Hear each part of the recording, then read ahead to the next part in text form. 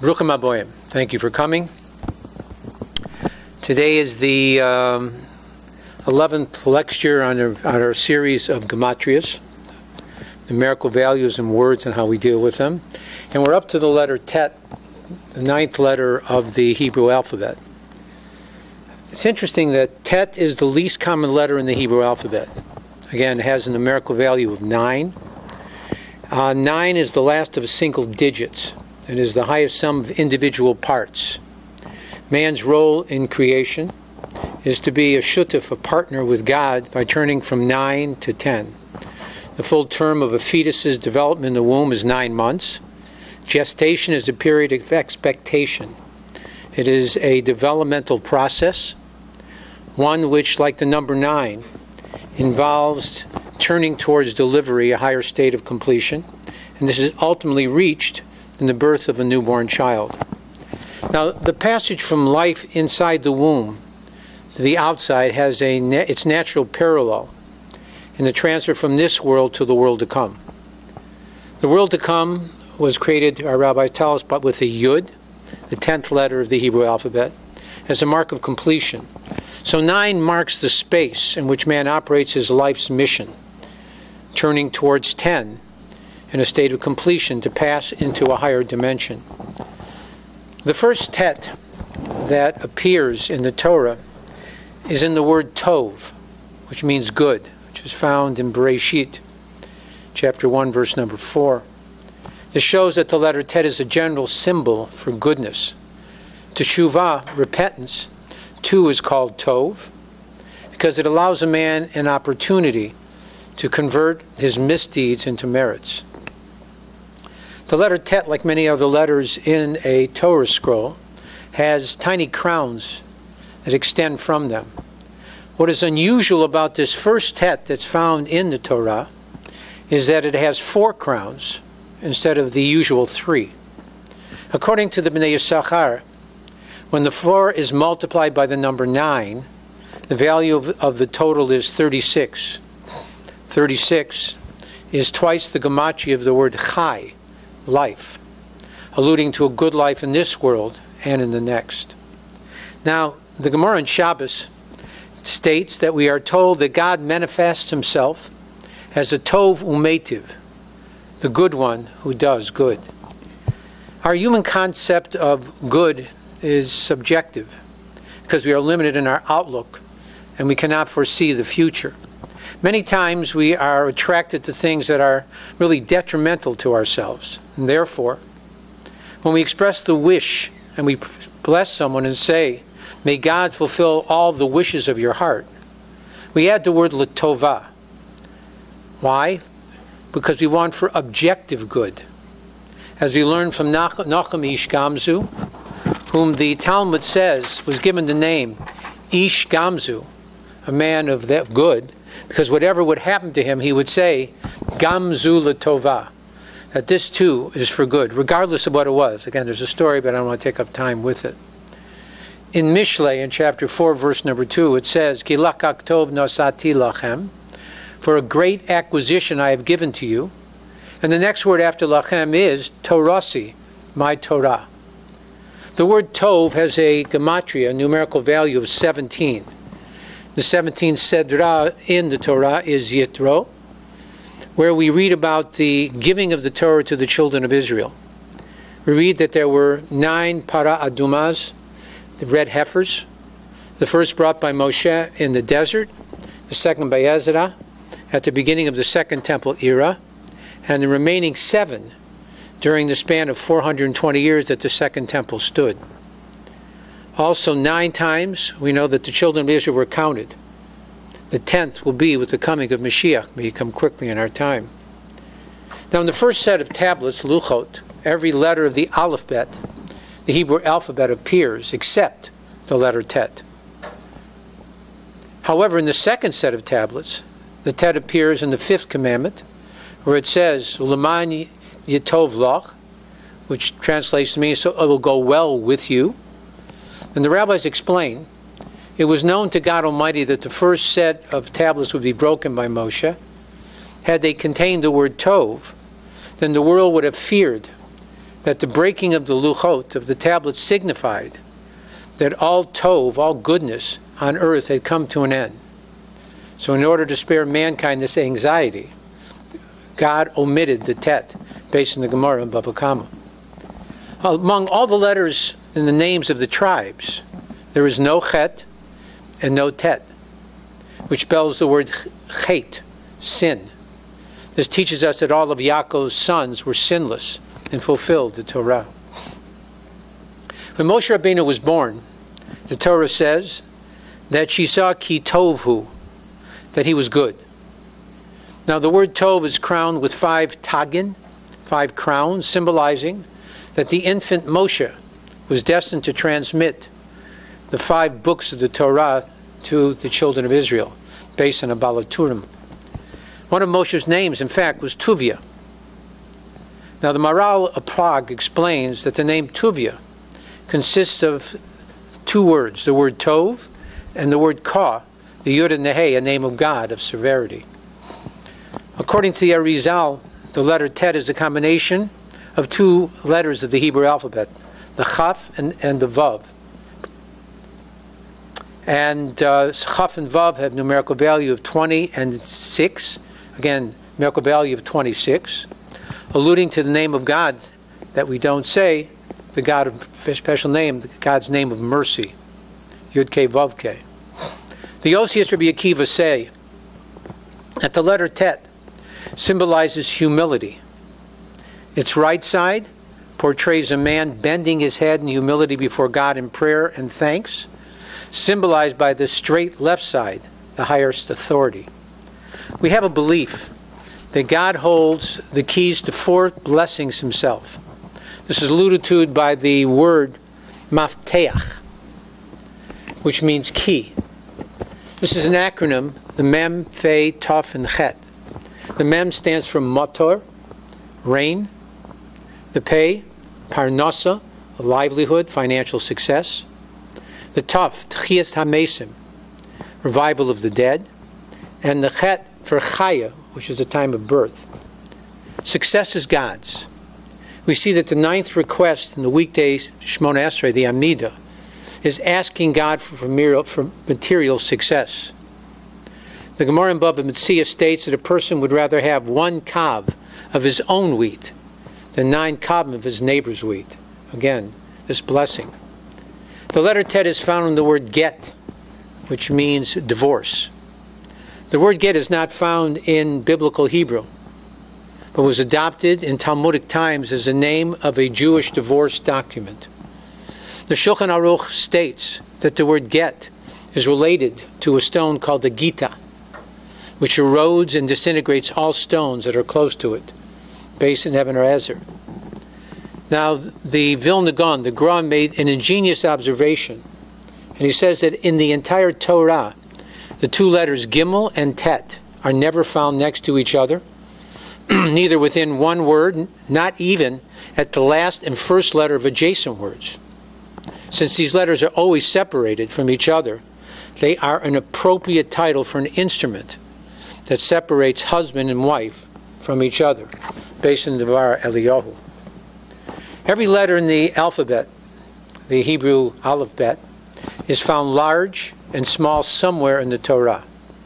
In the book of Eicha, we read, Tavu be'eretz shareh, that her, meaning Jerusalem's gates, are sunk into the ground. In this verse, the tet is written small.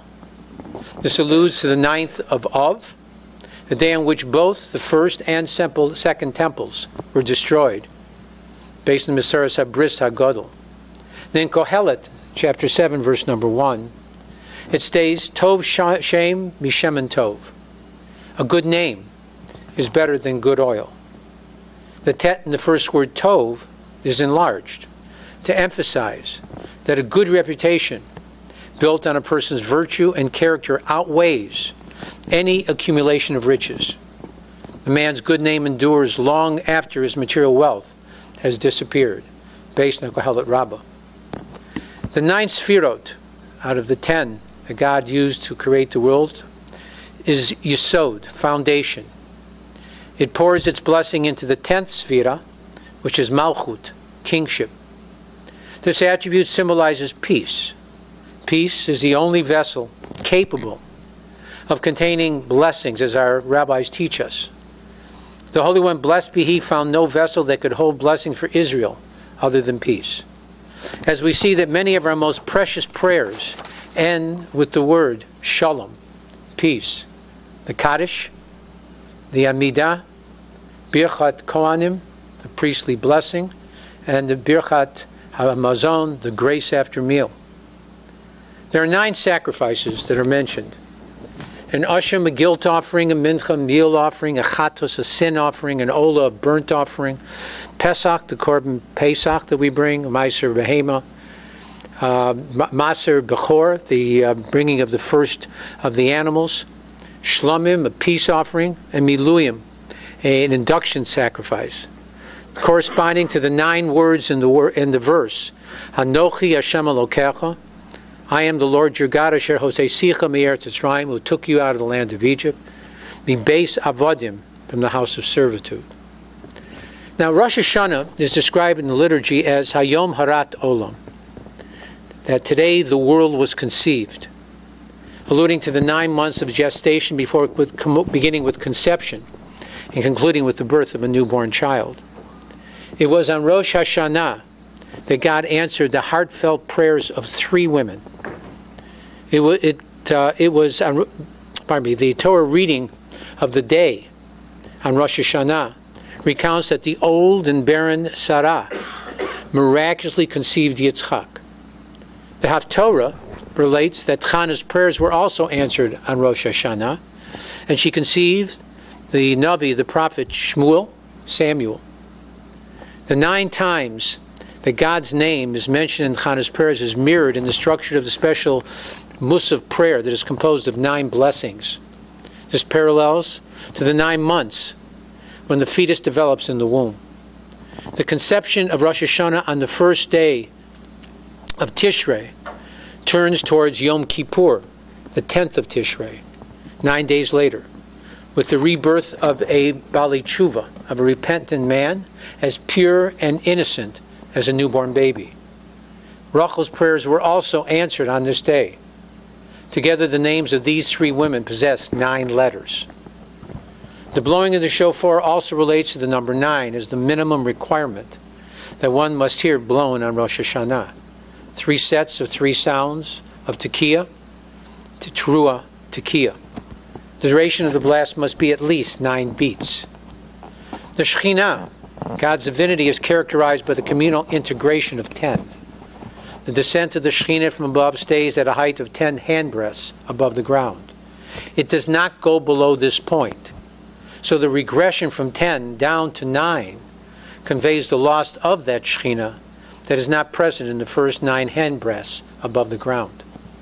The most tragic application in the reversal from 10 to 9 was witnessed on Tisha B'Av. On this day was the departure of the Shekhinah, the divine presence from the temples, and the subsequent destruction of the temples in Jerusalem, which culminated in the exile of the nation.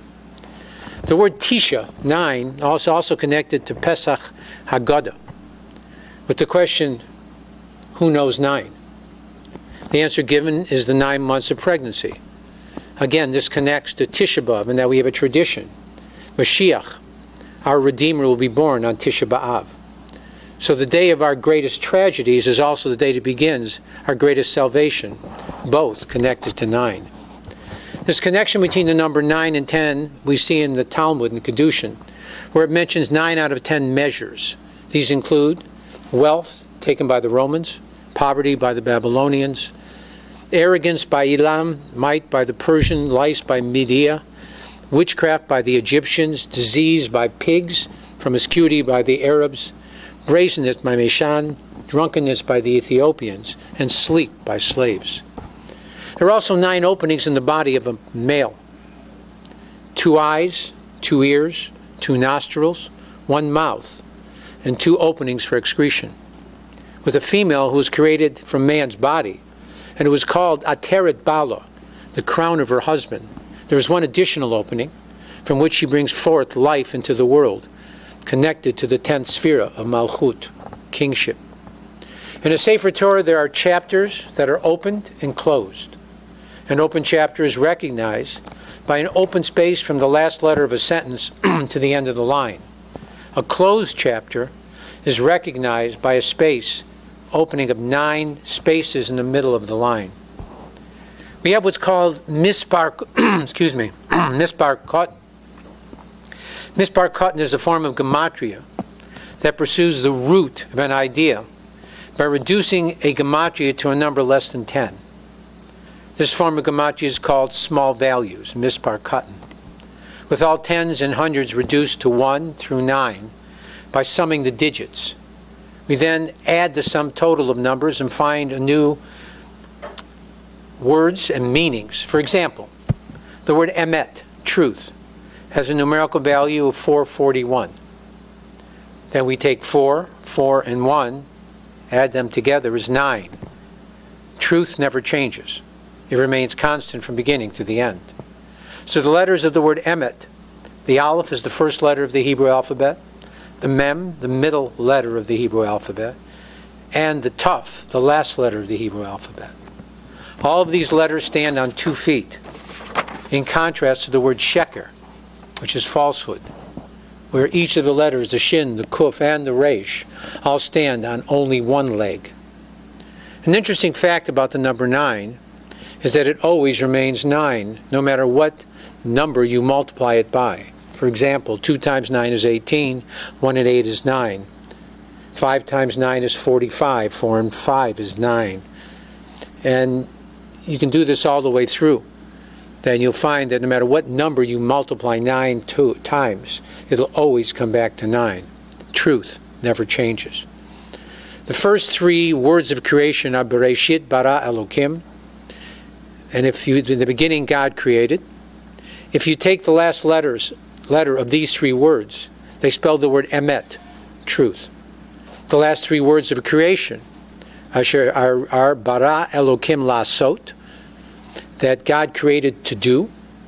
If you take the last letter of these three words, they too spell the word emet, truth.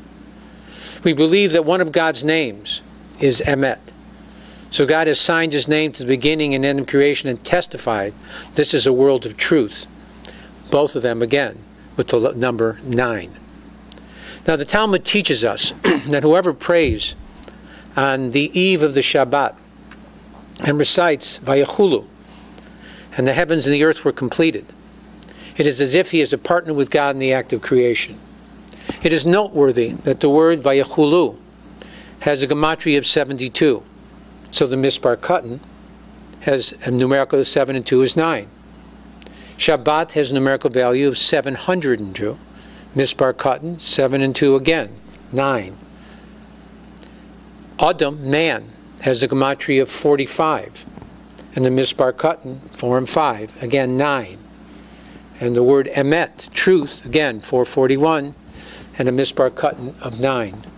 So one who, who, receive, who recites Vayachulu, and it was completed on Friday night, is testifying to the truth that God Almighty created Adam and the whole world in six days, and on the seventh day, the Shabbat, he rested. May God bless you and yours with true blessings that never end. God bless and be well. Shabbat Shalom.